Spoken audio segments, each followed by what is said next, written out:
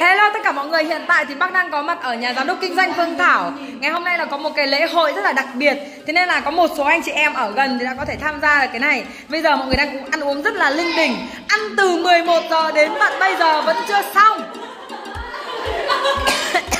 À, Bác vẫn đang chưa hết uh, khản họng. Ăn từ ăn gì bác? Từ 11 đến giờ đến bây giờ mà vẫn chưa kết thúc cả nhà mình ạ. À. Thế nên là bây giờ bác bác sẽ bắt đầu phỏng vấn bác sẽ phải phỏng vấn ngắn gọn thôi. Xem là bí quyết của các chị này là cái gì. Đó bác sẽ hỏi cái người đầu tiên mà ăn từ đầu đến cuối tận bây giờ. Đó. Bí quyết thành công của chị là gì? Được chưa cả nhà mình cùng cùng cùng lắng nghe để học hỏi xem nhá. Thôi rồi à, đồng chí này đang có vẻ rất là chăm chỉ ăn nên bác sẽ hỏi đồng chí mà ăn nhiều nhất từ nãy đến giờ. Người ta bảo người gọi là thầy của cơm đúng không ạ? À, cái người này chắc chắn là người ăn nhiều nhất mâm rồi. Bí quyết của chị là gì ạ? Bí quyết thành Ờ, xin chào nhà mình nhá. Ờ, bí quyết của tôi là cười thật nhiều, ăn thật nhiều, nói thật nhiều, đi gặp khách thật nhiều Và cứ từng thẳng mục tiêu của mình mà bán thôi. Câu đầu tiên chị thấy nói là ăn thật nhiều ở nhà mình ạ Đó là nhiều, thật nhiều. À, cười thật nhiều. Đó. À, Xin chào Thảo Đặng nhá, xin chào chị Xuân. Xin chào uh, Lưu, anh Liệu, em trai. Anh Ok, đến lượt nhân vật tiếp theo cả nhà mình nhá Còn đồng chí này thì đang ăn dở. Nên là chúng ta có thể phỏng vấn. Vâng, xin mời váy đỏ ạ, váy đỏ ạ. Cứ trả lời bình thường. Trả lời bình thường. Lại đi. Nói đi.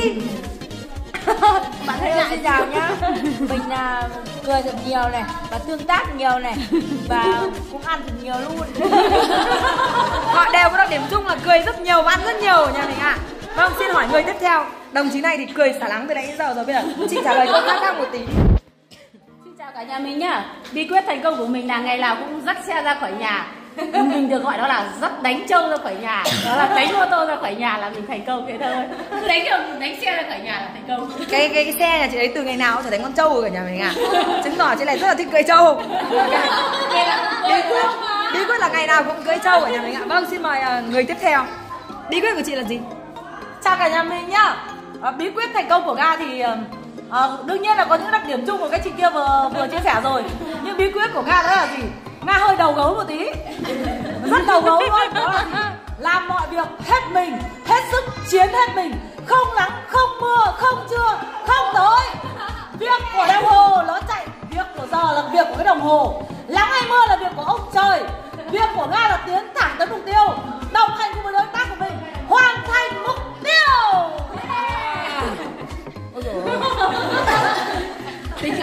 ấy là hoàn thành mục tiêu của nhà mình. Tóm tắt lại cả nhà mình. Năng lượng đúng không? Năng đỉnh cao luôn. Vâng xin hỏi người người tiếp theo. Người tiếp theo thì người này uh, hôm nay. Người này hôm nay phải giữ vai trò làm chủ nhà và cũng là từ nãy đến giờ là chỉ gọi uh, cong mông từ uh, nửa đêm hôm. Nay chuẩn bị bữa ăn cho anh chị em ngày hôm nay. Bây giờ xin được phỏng vấn chị ấy bí quyết của bạn là gì?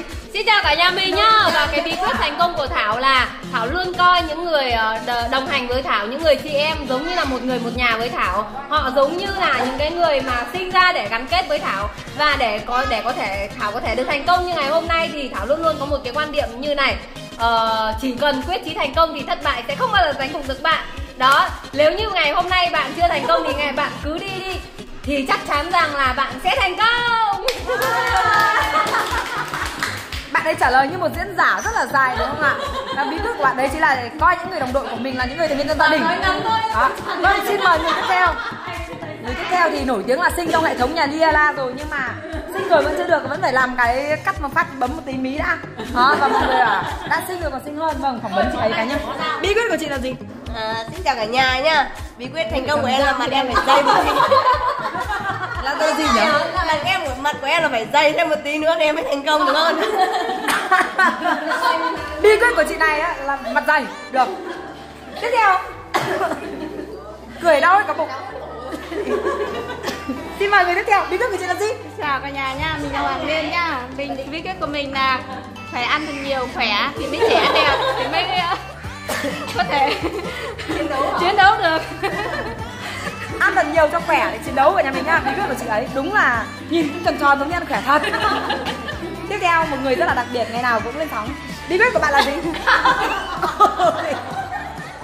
Đấy nhìn thấy cái hello cả nhà nhá đây à, em là yến và bí quyết của em là lúc nào cũng muốn đói này. Nhưng mà muốn mà luôn luôn là được mọi người test nhiều lên trên khuôn mặt của mọi người bí quyết thành công của chị ấy là test thật nhiều vào mặt người khác.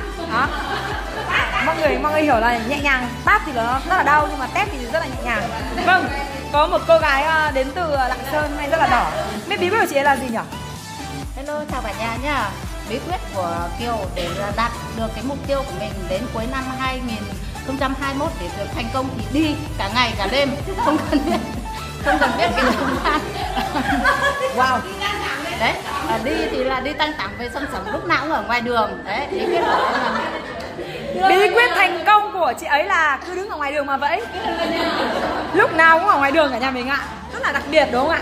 Vâng xin hỏi người tiếp theo bí quyết của chị là gì nhỉ? Xin chào cả nhà nhé, em xin giới thiệu em tên là Hiền và bí quyết của em đó là mỗi ngày trở nên xinh đẹp hơn. Thế thôi ạ. chỉ còn xinh hơn mỗi ngày thôi là bạn thành công rồi. Đấy cũng là một sự thành công đúng không cả nhà mình? Thế nên là chúng ta hãy cứ vui vẻ lên. Dù là Ra chị chia sẻ thêm một tí thì gì nữa. Vẫn còn một người lại xếp hàng rồi đấy vẫn còn muốn chia sẻ tiếp cả nhà mình à? Vì à, người ta đạt được đến cái sự thành công của người ta cũng muốn chia sẻ thôi. Vâng xin mời à, chị à, ăn từ nãy đến giờ. Vâng xin mời chị bí quyết của chị là gì ạ? Xin chào cả nhà nhá. Thì trước tiên là đúng là ăn nhiều thật ăn từ 11 giờ đến bây giờ. Đây. bây giờ thì bí quyết ờ, muốn chia sẻ với mọi người một chút là bí quyết của mình là phải ờ, tích cực đi thật nhiều và gặp gỡ các anh chị em thật nhiều và chia sẻ những cái ờ, mỹ phẩm cực kỳ tốt đến với mọi người mọi người sử dụng hết là mình sẽ thành công. Đấy rất nhiều người sử dụng là mình sẽ thành công. Đấy. Bí quyết của chị ấy là làm sao cho thật nhiều người sử dụng thế là thành công rồi. Và chị này thì cùng cặp với chị áo đỏ vừa rồi thì chị mà suốt ngày đứng ở ngoài đường vậy á. Đó thành thành đôi thành cặp và bây giờ à, một ờ, một đại bàng rất là lớn trong gia đình Lia La lại tiếp tục muốn chia sẻ cái điều này. Thế nên là chúng ta cũng sẵn sàng đón nhận thôi. À, lại là nga đây à, thật ra là như thế này nhà mình ạ xin miếng à, thời gian gần đây ý, thì à, nga tạo dựng cho hệ thống của nga cho công ty của nga có một cái văn hóa một văn một văn hóa rất là rất là quan trọng.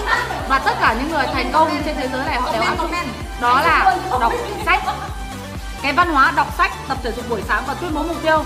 Đây là cái mà để hệ thống công ty uh, ty Petro tức là phẩm Diala lên một tầm cao, hoàn toàn cao cao cao và cực cao trong thời gian rất là ngắn.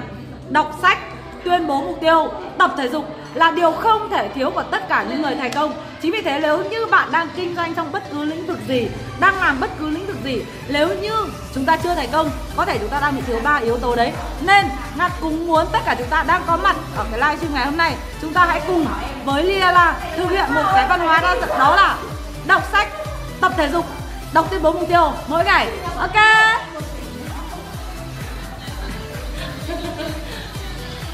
Không còn gì để nói nữa, lúc này. Mình và khi mà mọi người đã nói hết rồi, thì một người đang thằng cổ lại còn ờ, giọng nói cũng không được chuẩn chỉ như bác đây thôi, không cần phải nói điều gì nữa, đúng không ạ? Bí quyết thành công của bác đó là lắng nghe tất cả những điều trên của nhà mình ạ.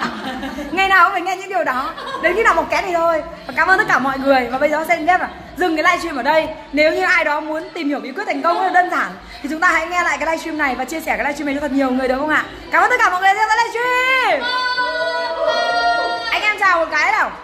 Thực ra là hôm nay là có bốn mâm. Và bây giờ thì các mâm đã đi về hết rồi và họ đã vơ vét những cái gì còn lại là ngồi lại một mâm tiếp theo. Bây giờ cho mọi người xem toàn cảnh. Toàn cảnh được không ạ? Chúng ta cùng nhau với tay chào tất cả mọi người nhá. Một, hai, ba.